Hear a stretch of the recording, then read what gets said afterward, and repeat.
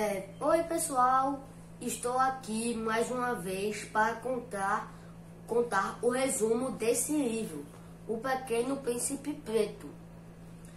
Esse livro conta sobre honestidade, aceitação, é, cultura e ancestralidade, que é uma palavra que eu não tinha conhecimento. E isso me levou à pesquisa.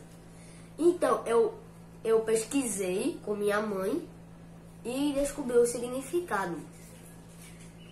Então, esse livro ele fala sobre um menino que vivia num planeta com uma árvore baobá, que era sua única amiga. Então ele decidiu ir para outros planetas. Quando, então um dia ventou muito e ele aproveitou e foi para outro planeta, onde conheceu um rei. E o rei, é, as pessoas não gostavam muito do rei, porque ele julgava muito, porque dava muitas ordens, só se importava com ele. E o pequeno príncipe não gostou muito. Então, quando veio a próxima ventania, ele já partiu para outro planeta, onde encontrou raposa, uma raposa e crianças. Então, ele queria brincar com as crianças. E as crianças não disseram que não, porque não gostavam da aparência dele, porque ele era negro.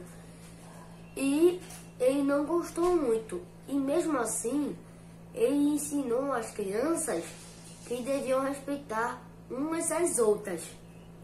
Porque ele observou que as crianças só brincavam de competir. E ele teve uma ideia de pegar um cesto e encher de doces e balas. Ele botou uma árvore e disse para as crianças: Quando eu disser já, vocês vão apostar uma corrida para ver quem chega primeiro na árvore. Quem chegar primeiro fica com as balas. Quando ele disse já, ele observou que as crianças ficavam empurrando umas às outras e que umas trapaceavam.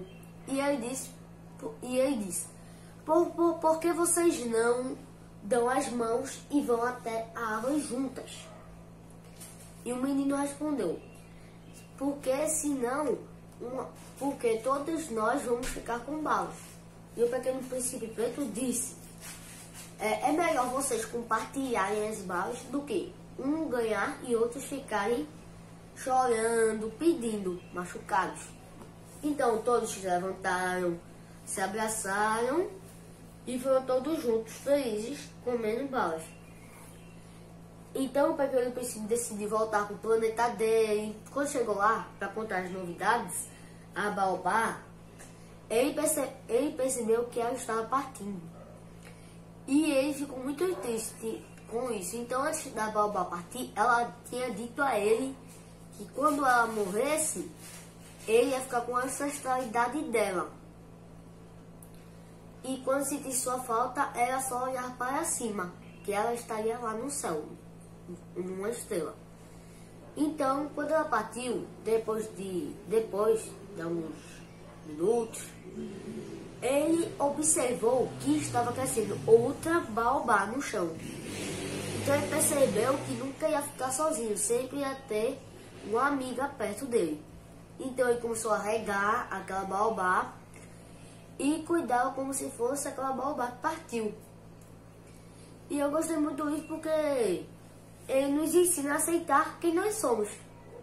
E a e esse livro nos, nos leva a refletir sobre aceitação, empatia e diversidade cultural e também a respeitar outras religiões.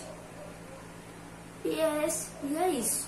E eu recomendo muito esse livro para vocês, Joelê. Ele ensina muito.